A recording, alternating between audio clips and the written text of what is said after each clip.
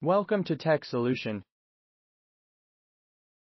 192.168.8.1 192.168.8.1 is the default IP address of WA, Telcel, STC, Zain, Zone, to change Wi-Fi password, SID, and other router settings at http colon slash slash 192.168.8.1. Open your computer or laptop, Make sure that your device is connected to the network either through an Ethernet cable or wirelessly. Open a web browser of your choice. Type 192.168.8.1 in the address bar. A login page of your modem will appear.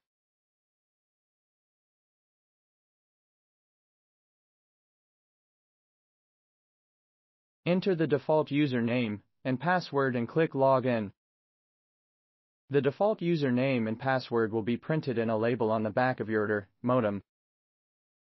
You will be logged into the settings page of your router. Reasons: Unable to access 192.168.8.1 Default IP address It might be that the default gateway address for your router may be other than 192.168.8.1. Due to this reason, you may be having trouble accessing the login page through 192.168.8.1.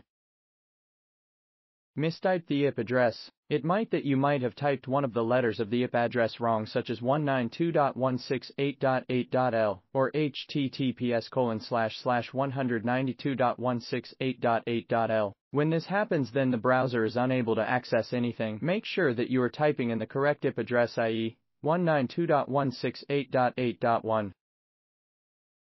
Mistype the IP address. It might that you might have typed one of the letters of the IP address wrong such as 192.168.8.l or https colon slash slash 192.168.8.l. When this happens then the browser is unable to access anything. Make sure that you are typing in the correct IP address i.e. 192.168.8.1. IP address conflict. When you have more than one routers connected to the modem to access the internet then there might arise an IP address conflict between the routers. In such cases, when you type in 192.168.8.1 in the browser then the browser will either show nothing, or take you to the login page of the other router.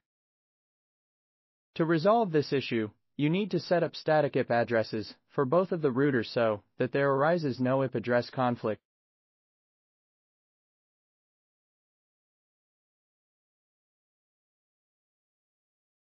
Thanks for watching.